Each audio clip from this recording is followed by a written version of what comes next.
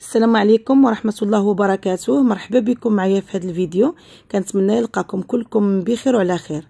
في هذا الفيديو بغيت نشارك معكم الخدمة ديال الحجر الطبيعي أو ديال تحجرت ديال متابعين ديال القناة. هذه الأعمال ديال الحجارة آه، خدموها متابعين ديال القناة مع المعلم حسن. راكم سبق وضعت لكم فيديو على الخدمة ديالو واتصلوا به الناس وخدموا عنده هاد الخدمات. وبغيت نشاركها معكم مادام هاد الخدمة كانت للمتابعين ديال القناة بغيتكم هكا تشوفوها وتاخذوا أفكار أكثر وتعرفوا كيفاش توظفوا هاد الحجر الطبيعي باش يعطيكم واحد الجمالية. بالإضافة أن هذا الحجر الطبيعي راه معروف أنه كيكون مقاوم للتأثير ديال العوامل الخارجية بحال الحرارة والرطوبة. فتمنع التسربات ديال المياه من الخارج إلى الداخل. كيعالج مشكل ديال الرطوبه في الحائط. إلا كان عندنا مثلا شي حائط عندنا فيه هذا المشكل ما تتنفعش مع الصباغة فكيكون الحل الأفضل هو الحجارة الطبيعية أو تحجرت. اذا كما كتلاحظوا بالنسبة للحجر الطبيعي دائما تيكون داير بهذاك المرور أو الباكيت كل واحد كيفاش كيسميه. هادشي غيخلي عنده واحد الجمالية أكثر. وكذلك كيكون la finition. يعني مثلا إلا بغينا نكملوا شي حيط بصباغة أو بحاجة أخرى كتكون la finition زوينة لأن تيكون داك الباكيت فاصل.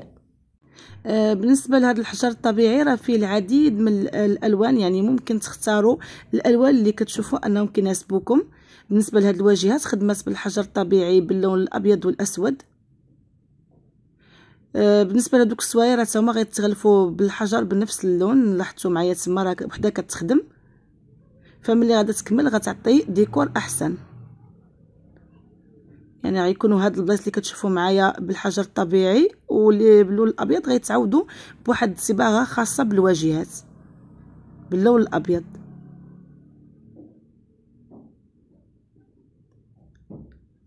اذا هنايا غنخليكم تشوفوا آه، نظرة شاملة على الواجهة. قبل ما ندوزو للخدمة الثانية ديال المتابعين أيضا ديال القناة باش تشوفوا كيفاش خدموا أيضا هذا الحجر الطبيعي بألوان أخرى وبأشكال أخرى. اذا نظرة شاملة على هذه الواجهة. واخا مازال ما كملات فالشكل ديال هذا الحجر تيجي زوين بزاف كيعطي واحد الجمالية. بالإضافة للقوة ديالو والصلابه ديالو والمقاومة ديالو. غادي نشوفوا معايا هنا الحجر الطبيعي بالنسبة للداخل. فهذا المدخل توضع هذا الحجر الطبيعي في الجهتين كنوع من الديكور اللي عطى واحد الجماليه لهذا المدخل. الخدمة دائما ديال المعلم حسن اللي غنخلي لكم الرقم ديالو في الشاشة. لا عندكم أي خدمة ديال الحجر الطبيعي أو ديال الرخام ديال تازة فهو تيخدم في جميع المدن ديال المغرب. لاحظوا معايا هاد الشكل ديال الحجر الطبيعي كتجي كل آه، حبة. آه، اللون ديالها مختلف على الأخرى وبالتالي كيعطي واحد الجمالية بالنسبة لهذا الحائط. كذلك راه غادي يحمي هذا الحائط من أي مشكل ديال التسرب ديال الماء من الخارج للداخل.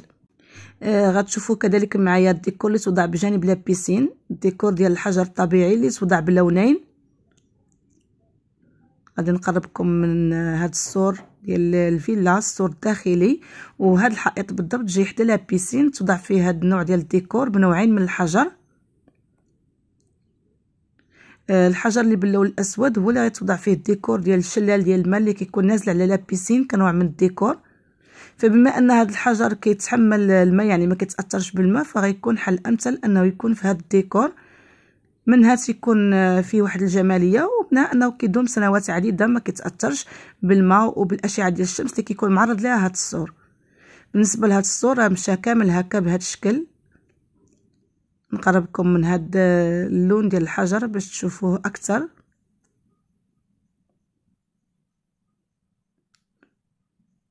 فهو تيجي الديكور ديالو زوين آه، خصوصا إلا توضع آه، كنوع من الديكور يعني ما يكونش الحائط كامل بهاد آه، الحجارة كيكون مزيج ما بين هاد الحجر وشي صباغة أو enduit façade خاص بالواجهات كيكون مقاوم للماء.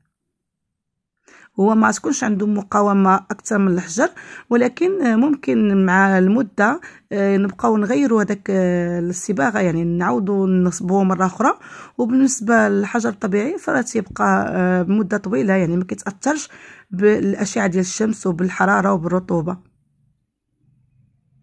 اذا كان هذا هو الديكور اللي توضع في السور الداخلي ديال هذه الفيلا.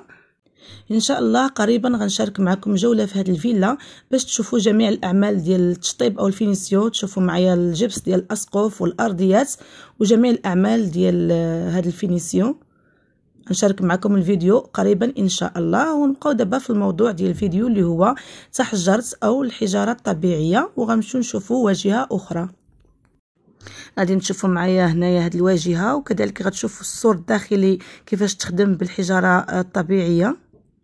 غادي نتأسف هنا على الجودة ديال التصوير ماشي أنا اللي صورت. ولكن راه غيكون باين لكم الشكل ديال الحجر وكذلك la finition. شوفوا معايا la finition ديال الباغيط آه، الشكل ديالها كيف داير. يعني راه دائما الخدمة واليد العاملة هي اللي كتلعب دور في النتيجة النهائية. إلا كانت الخدمة ما عندهاش واحد الجودة راه ما غاديش تعطي ديكور آه، اللي هو مزيان. هنايا غتبغوا تعرفوا الثمن ديال الخدمة. ديال هذا الحجر الطبيعي. فبالنسبة للمعلم حسن تيخدم الحجر الطبيعي ابتداء من 300 درهم المتر مربع. داخلة فيها الحجرة والخدمة.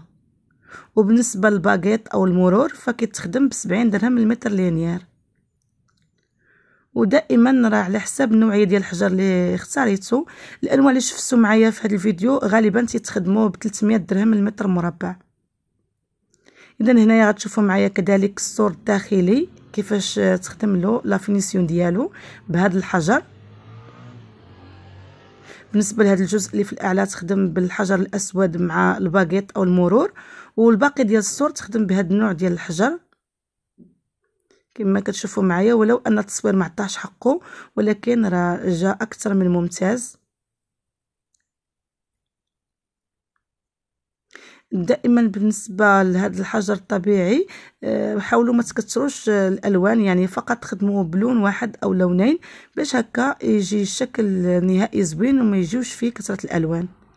هنا غنقربكم من هذه النوعية ديال هذا الحجر.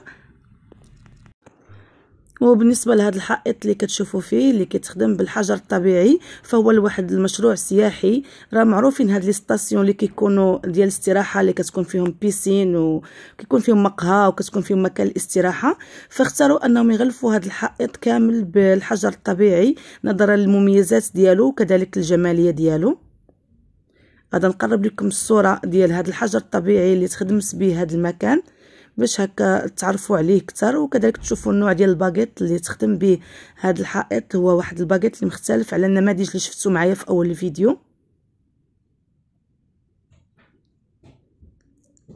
اذا غنخليكم تتابعوا هاد الصور من هذا المكان باش كذلك تاخذوا أفكار أكثر على الأنواع والأشكال ديال الحجارة. وكنتسنى دائما التشجيعات ديالكم باللايك الفيديو فضلا وليس امرا. لا عندكم أي سؤال أو استفسار خليوه لي في التعليق وإن شاء الله نجاوبكم. وما تنسوش إلا كنتو أول مرة كتشوفوا القناة تشتركوا فيها وتضغطوا على الجرس باش تبقاو دائما توصلوا بكل فيديو جديد. في الأخير دمتم في رعاية الله وإلى فيديو قادم إن شاء الله. مع السلامة.